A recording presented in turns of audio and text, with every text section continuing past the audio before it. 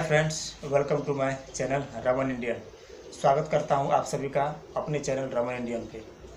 दोस्तों, यह update Ajmer board के वेटिंग कैंडिडेट के लिए है।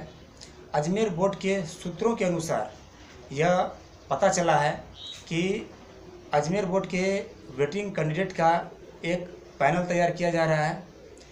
उस पैनल के अनुसार जो कुछ ही दिनों पहले, चौदह तारीख को जो रेल मंत्रालय के द्वारा एक सर्कुलर जारी किया गया, उस सर्कुलर को ध्यान में रखते हुए इंडिया रेलवे के जितने भी जोनल रेलवे हैं, सभी के जीएम को यह आदेश दिया गया कि सभी की वेटिंग किसी न किसी रूप में क्लियर कर दी जाए।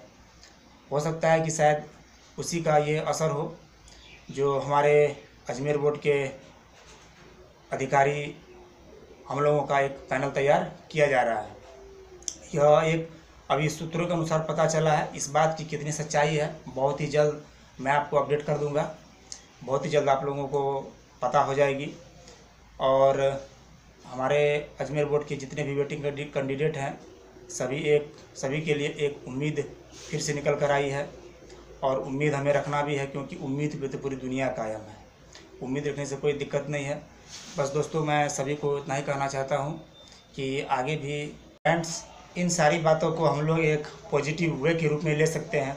क्योंकि देखा जाए तो जब से रेलवे अजमेर बोर्ड ने हम लोगों का रिज़ल्ट जारी किया था, तब से लेकर अभी तक किसी भी तरह का रिप्लेसमेंट या किसी भी तरह का इंडेंट जारी नहीं किया गया है। तो इन बातों से भी अंदाज़ा लगाया जा सकता है कि ये बातें जो निकल कर आ रही है, इस बात में कितनी सच्चाई है।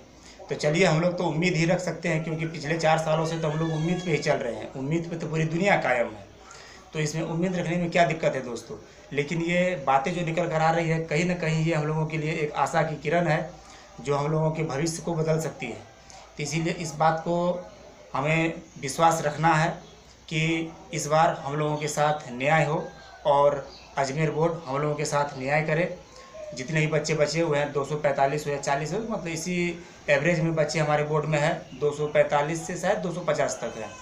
तो इन सभी का वेटिंग क्लियर हो सकता है। तो चलिए फिर मिलते हैं नेक्स्ट वीडियो में। तब तक के लिए मेरे वीडियो को आप सब्सक्राइब कर दें मेरे चैनल को लाइक बटन दबा दें और अपने दोस्तों को शेयर कर दें। तो फिर मिलते हैं नए अपडेट के साथ। जय हिंद, जय भारत।